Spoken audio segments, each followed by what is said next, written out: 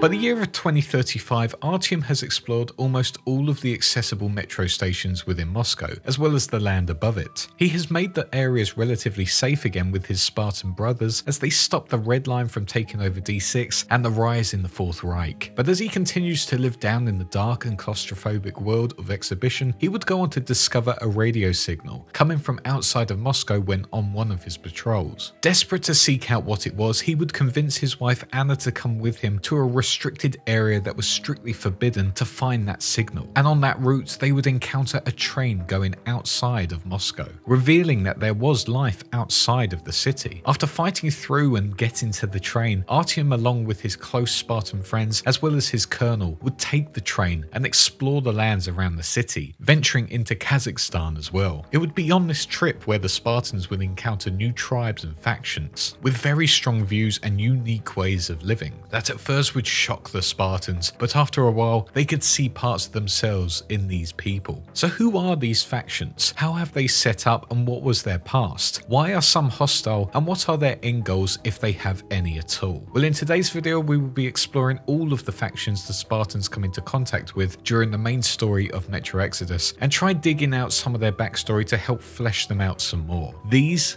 are the factions of Metro Exodus.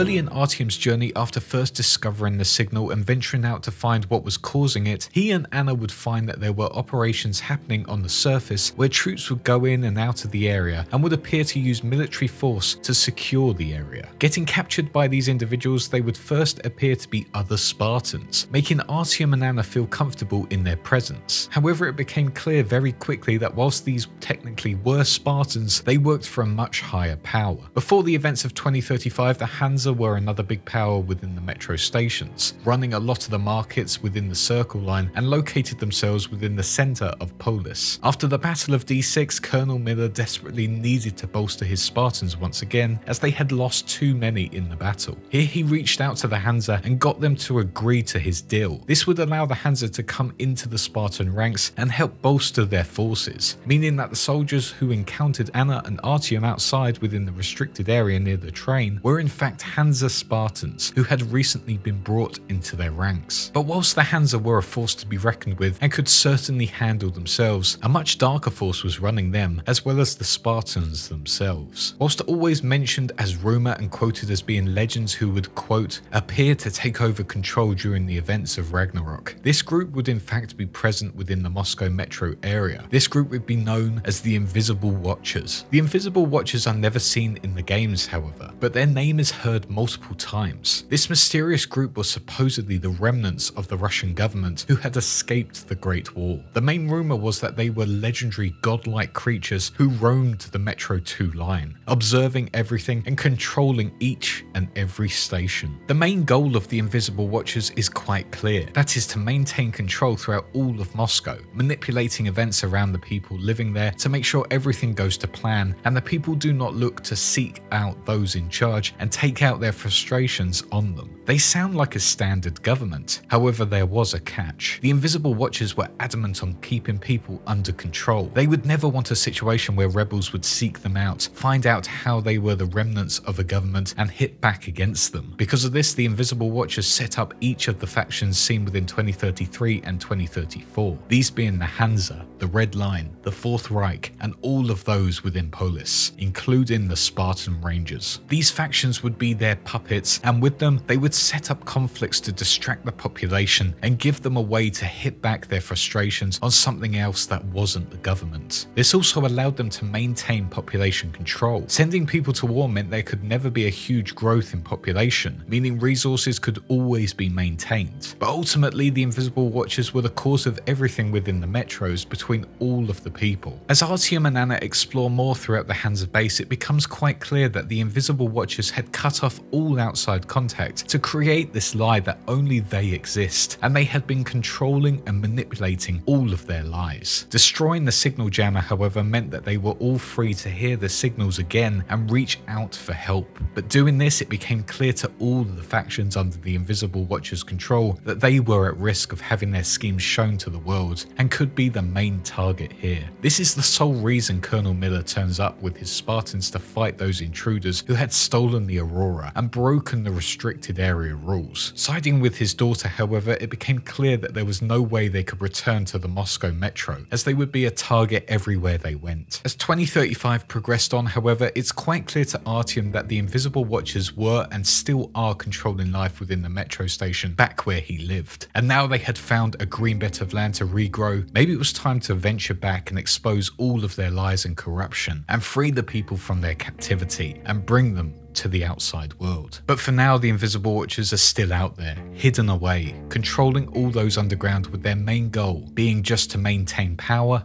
and control.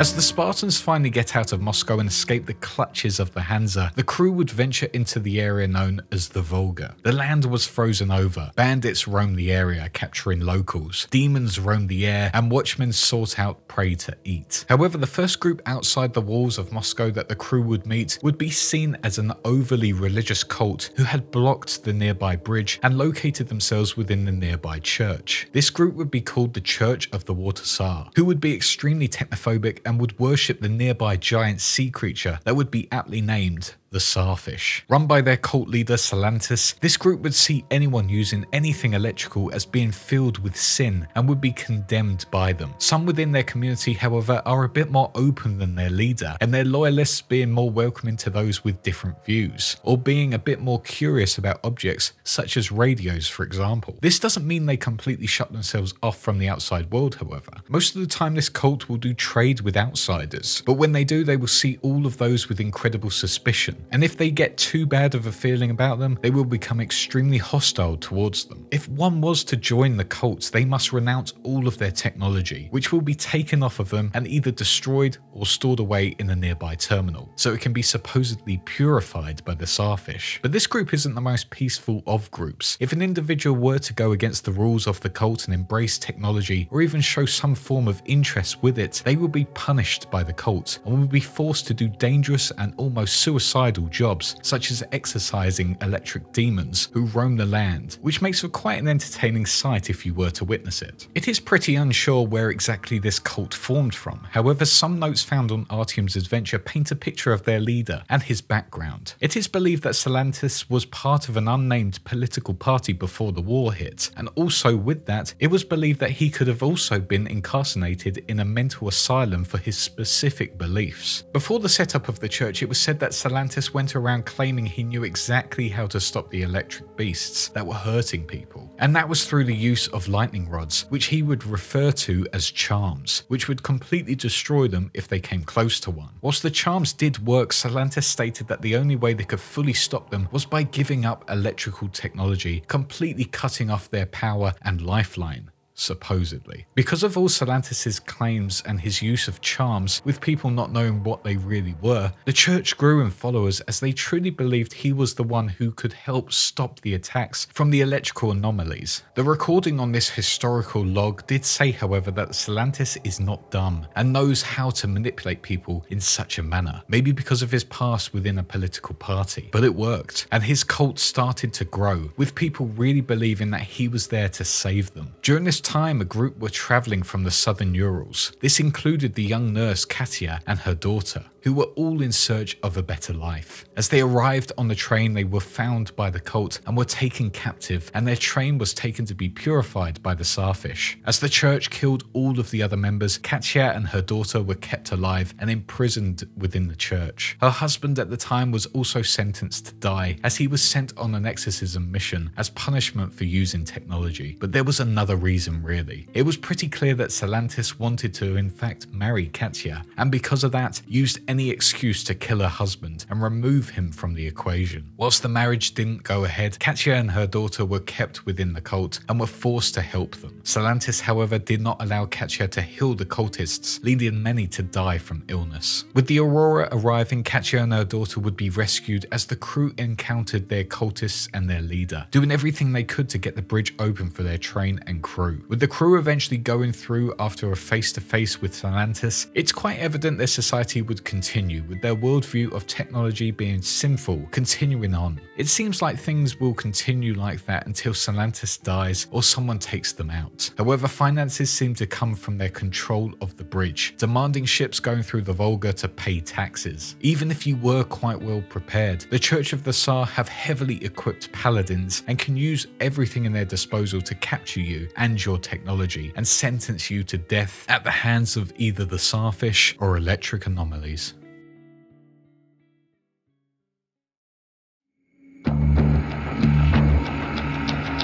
Colonel Miller from the offset wanted to find the government located outside of the Moscow metro station. Getting in contact with the Ark, the crew would venture there believing they were in fact the true Russian government. However, they were wrong, and instead, this Ark was set up as a Venus flytrap situation and would capture the crew and keep them as food. This group would be the Ark Cannibals, a group of survivors who were originally working on the Ark bunker, which was to be the government's shelter. However, the war came earlier than they expected, and because of it, all of the workers, soldiers, and some generals were trapped there, away from the outside world. At first, the situation was fine. Food was plentiful, and security was better than anywhere else. But that food quickly started to run out, and they needed a solution to this. As they searched for an alternative, the group opened up the communication relay to the outside world once again. But instead of reaching out for help, the group would lure individuals in, saying they had shelter and protection. Then, when they got there, would beat them to death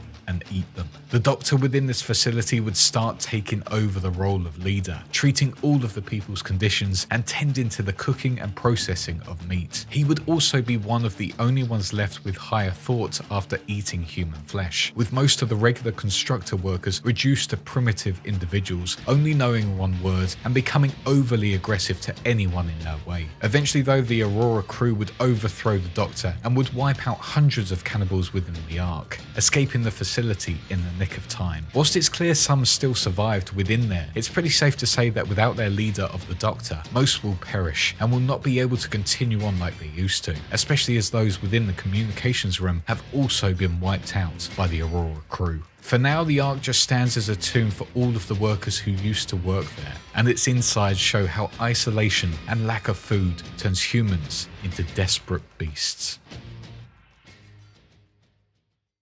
and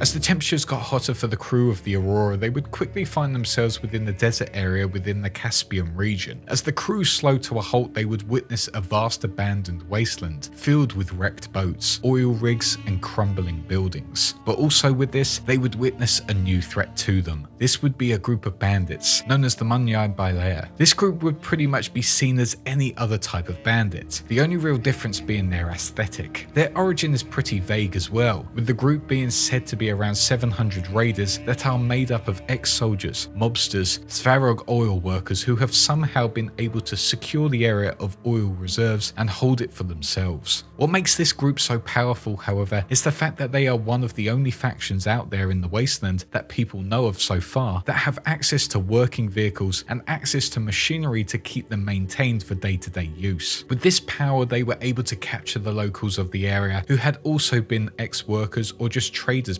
passing through, and enslave them to force them into doing their work for them, such as maintaining buildings and their land. Ultimately, due to their access to vehicles and machinery, this would enable them to fight off other bandits to become the dominant power within this area of the Caspian region. Their leader, known only as the Baron, runs the operation, with strict rules in place to make sure no one goes against them, which has made sure that fear runs amongst the land. It was believed that the Baron himself was either a high up member of the Svarog oil company, or just a general employee for the company within this area before the war. However, when the war broke out and the world went into a lawless society, the Baron rose to the occasion and made the land his own. He also campaigned to say that the reason for why he was doing this was to civilize the supposed primitive tribes within the land and give them an overall purpose, even believing that slavery is better for those people than what they were living like before. And with this setup, the religion this group would follow called the Holy Flame. However, with this strong rule in play by the Baron, this would set up strong opposition with some individuals within the area. One being Ghoul, who lived in the area before the war. During the Great War, Ghoul lived in the Caspian 1 bunker within the area with her mother, who worked in it as a researcher. As the bunker started to fall apart, both of them ventured to the surface once again and set up their life once again within the lighthouse above the bunker. But sadly, as rations started to get less and less, her mother would venture back down to the bunker and would sadly perish. This left Ghoul all on her own, looking for a purpose to keep on living. And after seeing her people being enslaved by the Baron and his bandits, she sought to hit back, raising resistance fighters to try and overthrow their regime. Over time, however, the resistant fighters faded out, leaving just Ghoul to fight back against the Baron's forces. The other opposition the Baron faced was his high ranking commander within his forces, called Saul. Saul's plan was to overthrow the Baron, and whilst Artyom and Ghoul started to fight back against the Baron's forces, Saul saw an opening to conduct his plan. Here he would form a plan with Ghoul to kill the Baron, then behind her back would find a body double to pose as the next Baron, claiming he had been resurrected by the Holy Flame and was back to rule the land, demoralizing the slaves and making it so no one went against them again. With this body double, they would be just a puppet ruler, and in the end, Saul would be the true ruler. In the end, the Baron of the Munai-Bailer would meet his end, but the future of the bandits would ultimately be down to Artyom and his decisions. But for the time being, with their machinery and vehicles, this faction was able to dominate the Caspian region and enslave all those who went against them or was a native of the area, claiming it was all in the name of their religion, the Holy Flame.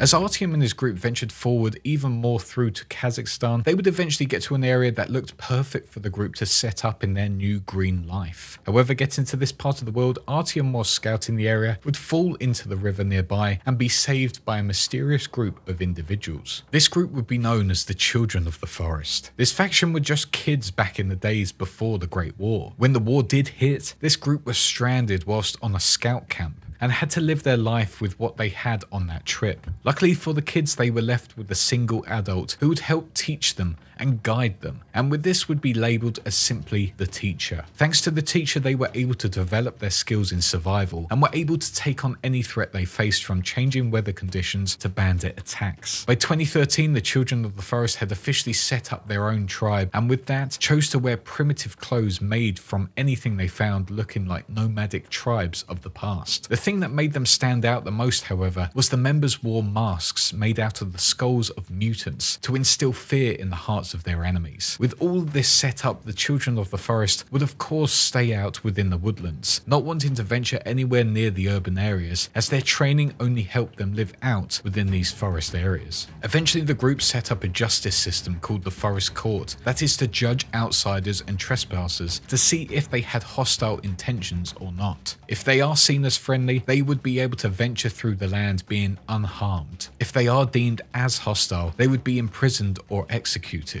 But despite all of those things set up to deter hostile individuals, bandit attacks continued on, killing a lot of the members of the group. This led the children to have conflict within their main group, with the individuals believing conflicting views of the teacher's lessons. With this, the group split up into the pioneers and the pirates. The pioneers being a peaceful group who were quite isolated and would only kill bandits, letting most passers-by go through their land. The pirates, however, attacked anyone they did not recognize and would also actively loot anything they could, whilst also ignoring the justice system put in place multiple times. For the most part, these tribes continued to live the way they knew for a good amount of years. However, as Artyom and his crew arrived, it became clear that this area was not safe, and if the children of the forest stayed there, they would all be wiped out very fast. It would once again be down to the actions of Artyom to save this group from the upcoming doom they were to face, and if they were to listen to their cries, the children of the forest could move on to greener pastures and continue to live their remote lives for years to come.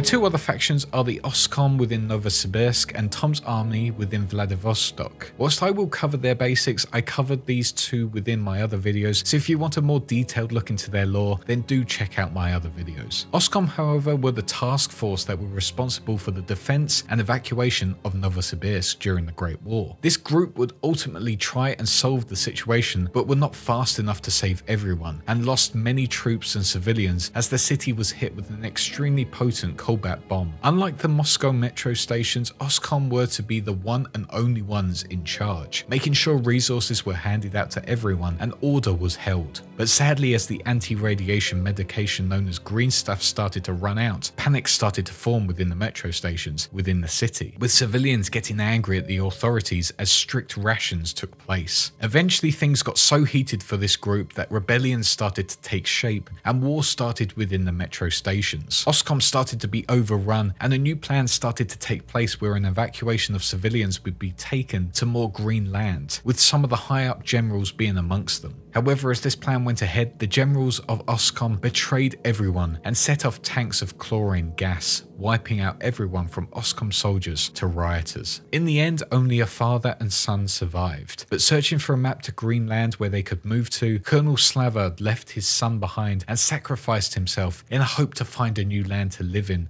with his son. This whole event would show Colonel Miller why the Invisible Watchers set up multiple factions to distract the hate away from them. But for now, Novosibirsk lies as a tomb, littered with the bodies of civilians and soldiers who just wanted to seek shelter away from the bombs of the Great War. And lastly is Tom's army, which does not have much of a backstory at all, but is key into the future of the series. Tom before the war worked within Russia after moving there from Seattle. After the bombs fell, he started gathering large stockpiles of pre-war fully manufactured weapons, as well as armed mercenaries under the leadership of his right-hand man, Clem, and ventured all over the country. Eventually they got to the city of Vladivostok and saw that it was powered by a pre-war nuclear submarine, and if they acquired that, they could take out any bandit camp they wanted and make sure no one double crossed them. Moving into the city, it didn't take long for them to take over, promising protection from the local bandits in return for living within their city. Tension started mounting with the captain of the nuclear submarine as Tom eventually took over command of it, hoping to use it to expand his business and win over others to his cause. By the year of 2036, Tom still commands the nuclear submarine. However, without its nuclear fusion cells, he is unable to get it moving and fully operational again. Reaching out, he would seek the help of a fellow American Marine who was once a Spartan Ranger, known as Sam. Once again, it would be up to Sam to judge who Tom is. Is he trustworthy with a device that could cause yet another nuclear holocaust? Could he be a friend who could let him travel back to his homeland? That will be down to Sam's judgment. But as the submarine looks on into the distance within Vladivostok, and Artyom and his crew look on at their new home, the world outside is looking much larger than it once did all those years ago down in the metro. Who else is out there within the wider world? What other factions could the groups find in their travels? Will the Invisible Watchers return and hit back against the breakaway Spartan Rangers, or will we see a new, bigger threat out there within Russia or East Europe? Only time can really tell. But for now, these have been the factions seen within the open world of Metro Exodus.